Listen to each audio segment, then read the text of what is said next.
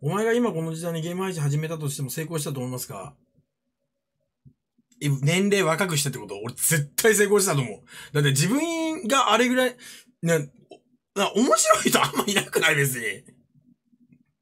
だからあんまいない気がすんだよな。俺ゲーム配信者で面白い人って一人も知らないんだよな。面白いこいつみたいな。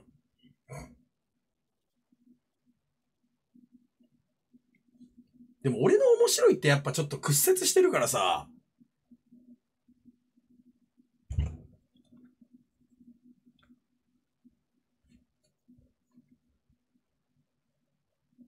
今でもたまにマジで思う。あと俺が10年若ければなって。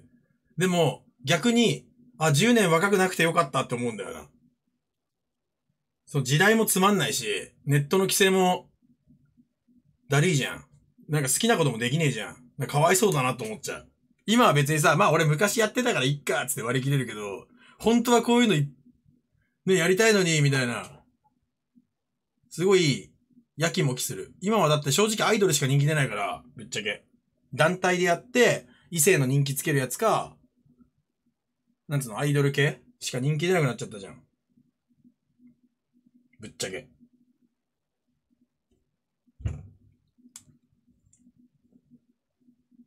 もうそれしかねえんだもん。でももう仕方なくない？もうそれしかないんだったら。俺別にもういいやって思っちゃってるけど。それ以外の選択肢なさそう。俺はお前のことアイドルとして見てるぞ、正解。じゃあこれ、お前、そんなお前に、ちゃんとじゃあ、今日もこれ出しとくね、俺。こいつが喋ってると思っていいよ。日本のプロゲーマーチーム弱いのはアイドルでいいですよ。それは関係ない。それは単純になんか、日本が弱いんじゃなくてさ、やっぱ、まあ、韓国とかが強いんじゃね？でも日本も別に弱くないよね、多分ね、最近ね。でも配信者はもうアイドル系じゃなきゃきついと思うわ。今からやるんだったら、顔かっこよくて、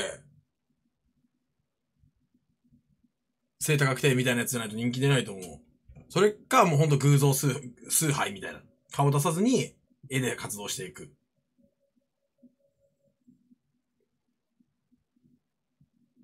いなくない？面白で売ってるやつってあんまいなくない？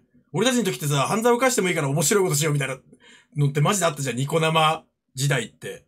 そんなことしたらさ、でもそれがつまんない、なつまんないんだよね。もうそれしょうがない。もう時代じゃん。もう時代が変わっちゃったんだろうな。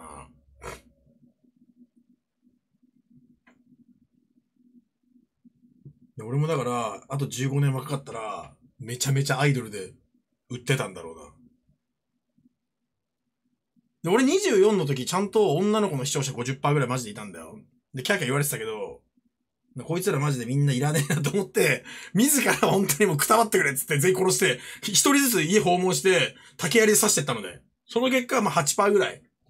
男か女か分かんないような奴らが8%ぐらい残ってずっとそいつらがついてきてるだけで。やっぱり今も、お前からしたら9年前スタバに爆竹投げて逮捕されたノブとか当時はこれ、いや、違う。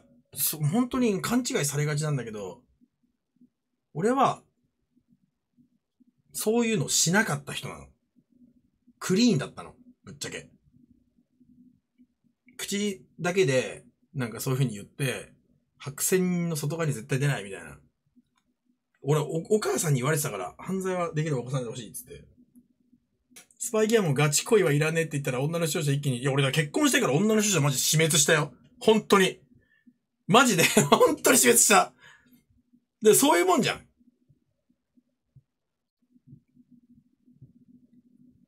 いや、それゼロには、ゼロにはならないよ。それゼロにはならない。